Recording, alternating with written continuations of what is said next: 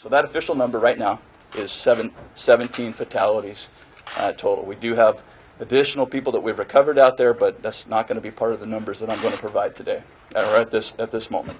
Today, today's operations, uh, the rain and the wind and the weather is basically working against us.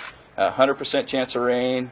Uh, we're looking at wind at like 20 miles an hour in places uh, on the site. That's going to that's going to further complicate things for our our responders that are up there at the site. Uh, it's uh, uh, areas that have dried out are going to become even more saturated with water. The areas that already have water in it that, we, that we've been working in, we'll see some additional, you know, water go into those areas. It just makes things slower and, and, and more complicated.